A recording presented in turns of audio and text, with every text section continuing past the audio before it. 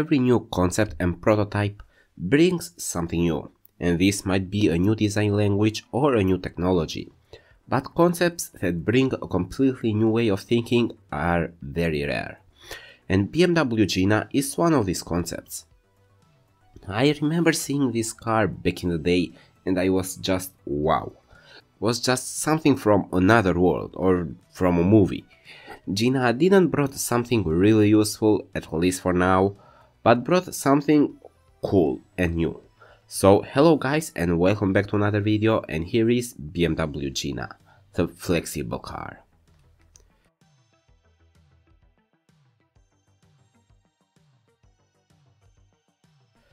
Thanks to its division concept BMW GmbH, BMW has brought some really cool concepts like Z11, an electric car with a range of 200 kilometers, the MED Z13, a rear engine, hot hatch with a central driving position, or the ultra-lightweight Z22.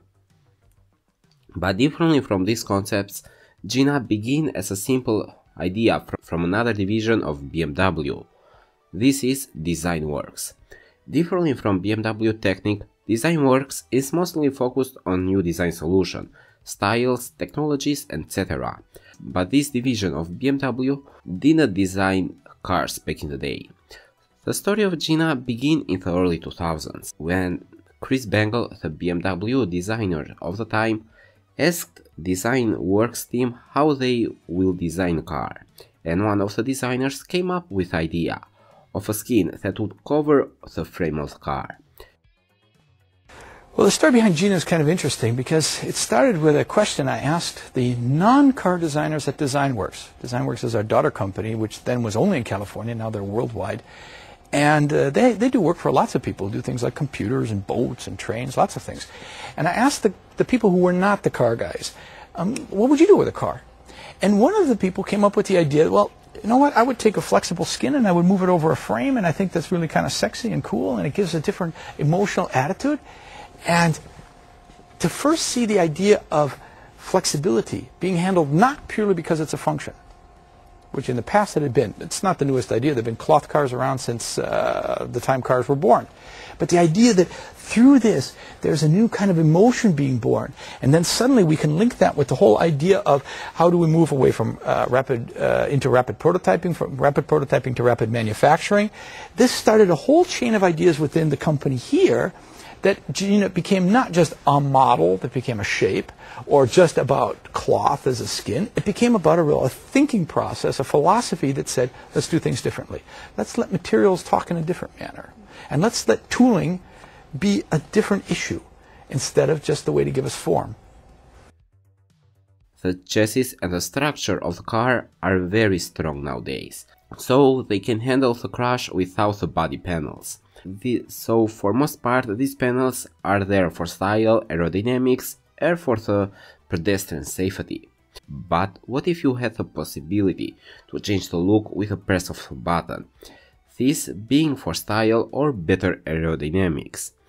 Or if you made a car that is much, much safer to pedestrian with using much better materials. The design team originally started building the frame of the car, since uh, the look mostly depended on the frame, because the skin would basically wrap around this frame. So the designers didn't have a true idea in mind.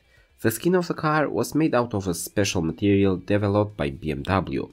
This was a fabric, mostly made out of polyethylene and spandex. According to BMW, this material could resist different temperatures, also the movements that happened after this skin could not damage it. The skeleton underneath the skin moved consistently, depending on the condition and the speed. But probably the coolest party tricks was the fact that the skin was also that also covered the headlights, the rear lights and the door hinges. The headlights were covered when they weren't in use, but they were revealed in a very cool way, since they looked like eyes while the taillights stayed under the skin all the time. Also, an electronic rear wing was under the skin, but the butterfly doors and the hood were the, were the best part. The butterfly doors, where they were opened, created an amazing look, while the bonnet revealed the engine in a very unique way.